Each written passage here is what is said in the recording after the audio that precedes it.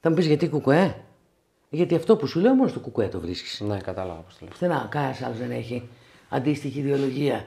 Ότι για να αλλάξεις τον κόσμο πρέπει να αλλάξεις το σύστημα και για να αλλάξεις το σύστημα είναι η υπόθεση ολονών και της βάσης και δεν είναι η υπόθεση των από πάνω.